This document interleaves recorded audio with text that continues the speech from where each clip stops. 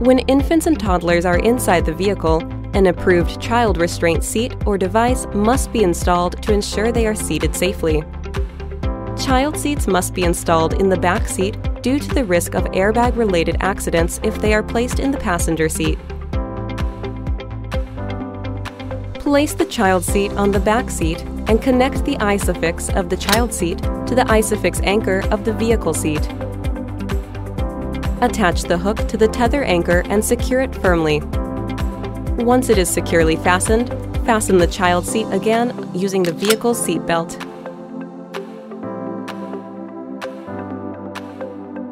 After installing the child seat, hold the plate and slowly pull the seat belt shoulder strap.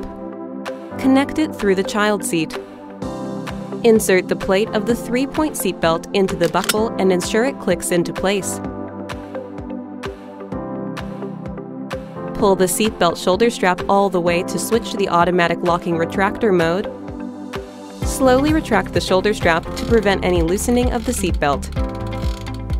When you hear a sound during the retraction of the shoulder strap, the automatic locking retractor mode conversion is complete.